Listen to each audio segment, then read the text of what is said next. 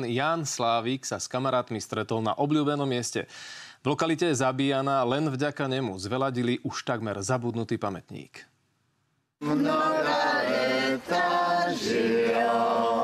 Kamaráti z turistického klubu pozvali zrejme nášho najstaršieho aktívneho turistu Jána Slávika na posedenie do lesa za Prešovom. A jak vládzete ešte tak chodiť po lese? Hej, hej. Netreba ma nosiť. K jeho 103. narodeninám mu zložili aj básničku. 103 rokov žiadny vek.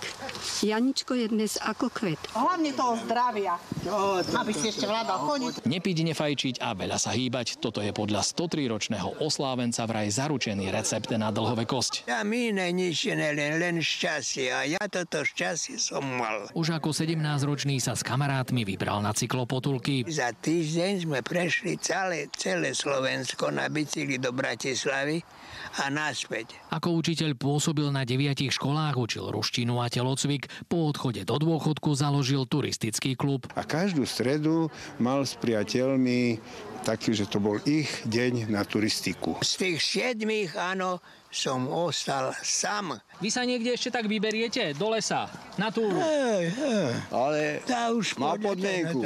Akú?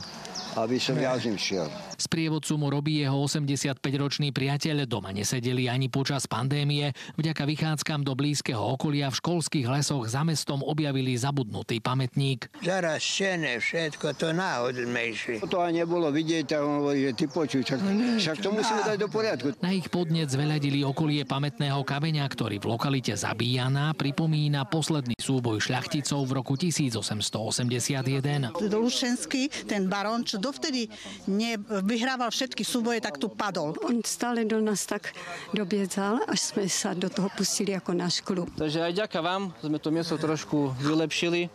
Čo sa dalo, robili. Vášnivý turista ešte pred troma rokmi aj bežkoval. Ak ho budú nohy poslúchať, na krátku prechádzku si k svojmu obľúbenému miestu stále rád zajde. Od autobusu dojdeme tu na naspäť. Z Prešova Martin Jedinák, televízia Markíza.